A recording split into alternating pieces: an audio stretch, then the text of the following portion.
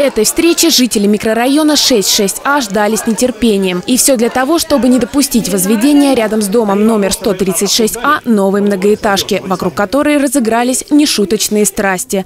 Основное, чего хотят жители – услышать четкую позицию районной администрации. После э, прямого эфира э, губернатора было дано поручение встретиться с э, жителями, с инициативными группами для того, чтобы обсудить э, перспективы застройки всего микрорайона. В жаркую дискуссию вступили две непримиримые стороны. Жители нескольких домов микрорайона 66А, не желающие жить на стройке в течение нескольких лет, и переселенцы, ожидающие положенных квартир. Вопрос не к нам, вопрос к администрации района. Почему, собственно говоря, меняются графики расселения людей? Нам искренне жаль этих людей. Мы видим, насколько близко стоит эта стройка.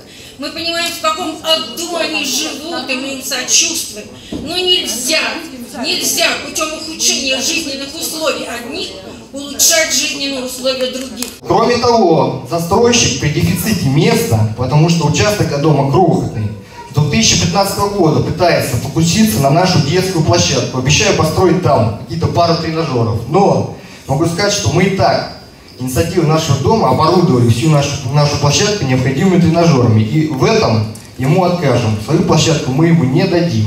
Ранее жители уже встречались с застройщиком по инициативе общественной палаты. Тогда обе стороны озвучили свои позиции. Согласно проекту, компания-застройщик должна была одновременно возвести три корпуса, в которые бы переселились жители из ветхого жилья. Но вмешался экономический кризис. Вы купили квартиру, мы пока оформляли документы.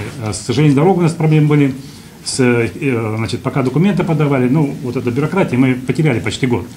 И э, на сегодняшний день получается, что дом этот, корпус 2 построился, а эти два корпуса не строятся. И, и э, выбывает сотый дом, и э, вот эти дома выбывают. На 23 пока мы еще вообще не получили ни, ни, э, зем, ни землю, ничего не получили. Под программу реновации микрорайона попадают 15 пятиэтажных и 8 двухэтажных домов, а также поселок БЗРИ. Вместе с тем в проблемный участок уже было вложено порядка 30 миллионов рублей. Мы не против переселения. Мы хотим, чтобы дом строили на другом, в другом месте чтобы администрация нашего города пересмотрела план реконструкции микрорайона 66А и дала возможность застройщику и острой построить дом в другом месте.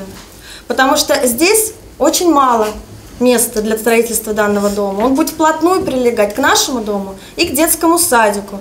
Встреча в актовом зале администрации получилась не только шумной, но и продуктивной. Компромисс был найден. Глава Одинцовского района обозначил свою позицию. Недопустимо за счет проблем переселенцев ухудшать условия жизни других. Наша задача основная, которую я вижу для себя лично и для администрации, найти э, земельные участки или такие возможности административные, чтобы поддержать э, компанию застройщика и дать им э, комфортные условия выполнить обязательства по переселению.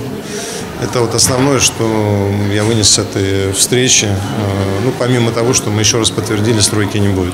Чтобы учесть интересы всех жителей микрорайона, застройщику придется внести в проект существенные изменения и потратить немало времени на проведение определенных процедур.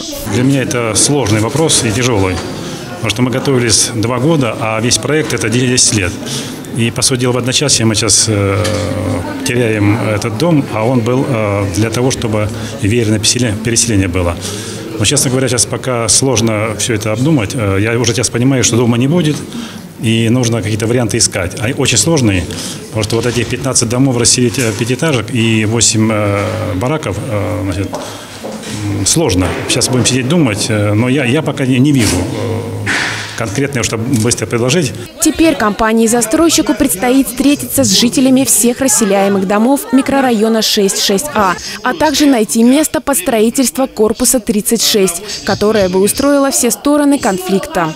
Анна Пряхина, Мария Подъепольская, Станислав Трифонов, телекомпания «Одинцова».